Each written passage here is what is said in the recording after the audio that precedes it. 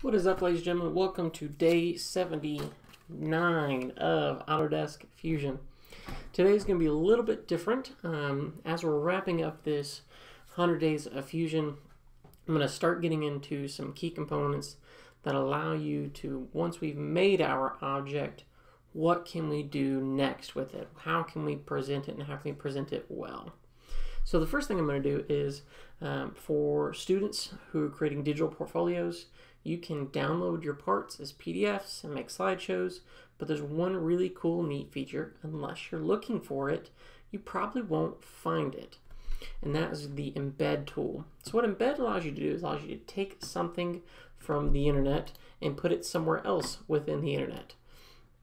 So here's what I got so far is we have our 100 days of uh, fusion and what we got here is for day 79 I have an embedded piece of my automata file that is completely interactable to a certain extent, but allows you to see all the parts to it and allows you to even do an exploded model, which is a little bit of outside the physics but lets you see what's still it's inside and uh, allows you to do interact with this just a little bit. And so rather than just doing a PDF and having a, P, a PDF thrown up there, let's make an embed. And how are we going to do that exactly?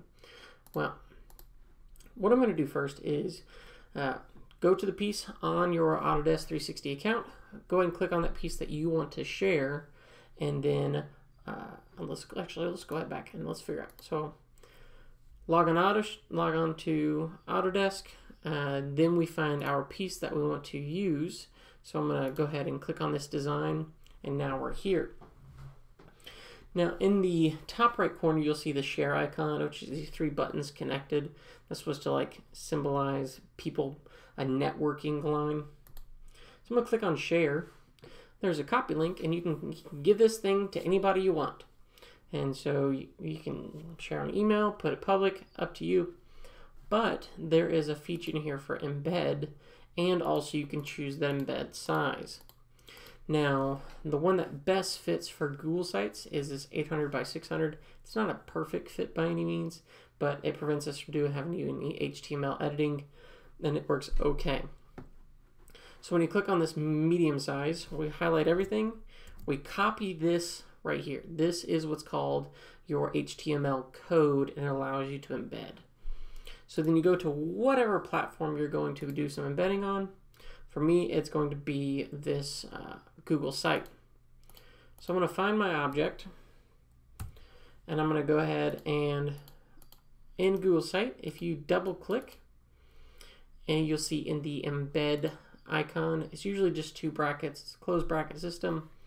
Click on the embed code and paste it in there.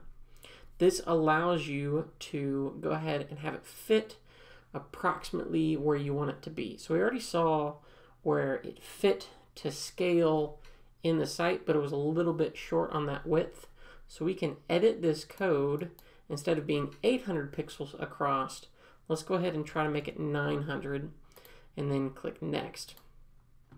So the problem is, is that when you're looking at the web developer side of Google Sites, we can see that this preview isn't exactly the way it's going to be. So you're going to have to do some of the previews just to see what is this looking like and is it the size I need it to be.